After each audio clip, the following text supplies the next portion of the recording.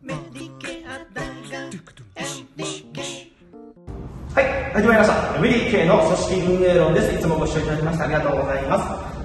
えー今日はですね、先ほど前編がありましたけれども、海事専門職大学にお邪魔してですね、えー学生さんと今お話をさせていただいているところです。えー先ほど長期の実習、15週間にわたる実習があったんですけれども、えーそこに来ていただいて、先ほど後藤さんともう一方、ここにいらっしゃる、えー学生さんにご紹介お願いします。はい、えっ、と、海事専門職大学3年の入山浩平と申します。よろしくお願いします。ありがとうございます。このね、お二人、二人ともね、あのね、タッパも含めてでかいんですよ。僕は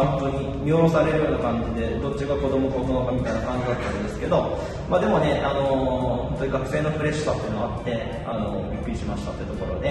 ねもう15週間の最初ね、4月の、うん新規したばっかの頃だから、桜が咲いてましたよね。はで今もうこんな暑い時期になって今外見たら36度って書いてありましたよ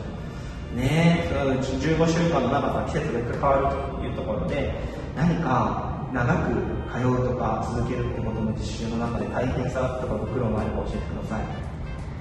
まあ、そうですね、まあ、一番大変だったのが、うん。まあ、ちょっとその、長岡まで行くのに、まあ、1, 時間ぐらいかかるかかからないかぐらいだったりしたので、まあ、ちょっと乗り遅れないかっていうのがすごい時間が決まってましたからね。はい。まあ、結構その寝坊した回数が 複数回あったので、まあ、ちょっと危ういなって思って、は寝坊したけど遅刻しなかった。じゃんい。はそれは間に合ったい、新幹線で。在来線で行けるところを新幹線でぐっとぐっと、はい。ね朝が苦手なんで。朝になってますね、ロー、ローですね。で、一人暮らしだから、なかなか起きるの大変ですよね。はそうそう、それ大学で、あなたも県外ですよね、出身。はい大学の4年間の中で、まあ、一人で暮らすことの良かったことと、うんデメリットみたいなのを一つずつ教えてください。い、まあ、そうですね、まあ、良かったこととしては、まあ、やっぱりその、まあ、自分自身で、まあ、自由に行動できるっていうのが、まあ、一つ大きな場所だったかなというふうに思いますね。やっぱりその今まではやっぱりその親に従って、まあ、言われるからね。言われるがままに動いてたっていうのがあったので、やっぱり自分の意思でこのこういうことやりたいとか勉強したいっていうのも自分なりに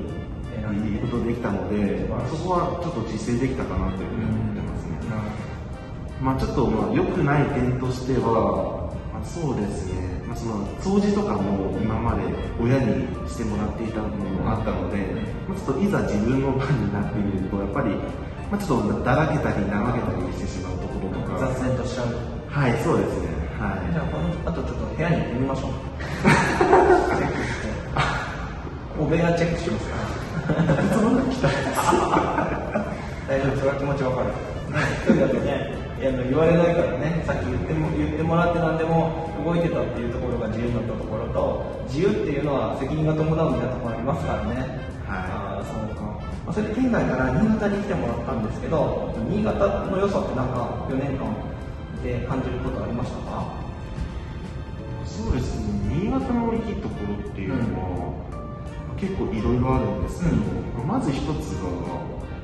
まあ本当あの自分の周り、まあ、やっぱあのいろんなところとか栄えてたり、ん。まあ、するので、結構すごいですよね。なんか自分の行きたいところとか、まあ、結構そういう商業施設とかもいろんなところがあるので、でかいですよね。はい。まあ、ちょっと場所にもよったりするんですけど、まあ何一つ不自由なく、まあ、過ごせてるっていうのが、まあ一ついいところだと思います、住環境良かった。はい、よかったです。こはこはまたね、この大学さんがすごくいい場所にしてますからね、駅から近いし、駅南って言われるところなんですけどね、駅南通りというか、うーん、にね、えー、面してというところで、そっか、そのまあ、今度ですね、社会にいよいよ出てくる、えータイミングになってきますけど、どんな心境ですか？い、まあ、そうですね、まあ、ちょっとその1、2年生の時は、まあ、ちょっと勉強とか将来っていうよりかは、ちょっとまあ遊びほうけてたっていう部分がまああったので、まあ、ちょっと今3年生になって、まあ、少し危機感を覚えてて、まあ、ちょっと今は、まあ、ちょっとまた、まあ公務員になるために、今、公務員してはい、ちょっと専門学校に通って、まあ、勉強を自分なりに今やり始めてます。そうなんですね。はい。やそれはまあじゃあ明確な目標ができたということでね、はい。自分に期待をかけてやるしかないというかね、そうですか。それもまただから貴重な経験があった人たちの中で夢が決まるっていうのはいいですよね。はい。そうか。わかりました。あとですね長岡に来てもらって長岡のなんか美味しいものいっぱい食べたかと思うんですけど。何が一番美味しかったですかそうですねまあちょっとか数えるとちょっと迷う部分も結構行ったよねはいあったんですけど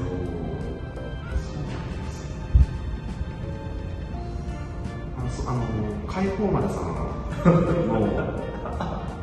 あのお値打ちな、水曜日限定のパックリのなんていうか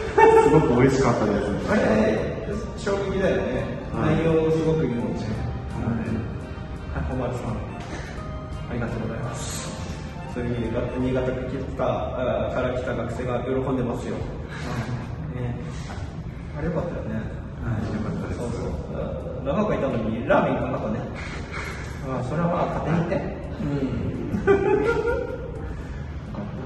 まあ、本当にね、いろいろな学びというかね、えーでしたけど、まあ、15週間ね、えー真面目に帰ってくれたっていうのはとても嬉しかったかなと思いましたし、えーこのお栗山さんと後藤さん、合作でですね、一つの15週間の学びの集大成の授業発表をこの間されたばっかりだったんですね。これも非常にいい経験だったんじゃないかなと思うんですけれども、まあ、本当に開始専門職大学さんはそういういい学びですね、他と違うえー学び、えー付加価値のある学びができる大学として、まあ、非常に私たちも企業側として、あのー勉強になったなというか、いい刺激もらったなと思って感謝してます。はい、皆さんいろいろとありがとうございました。またね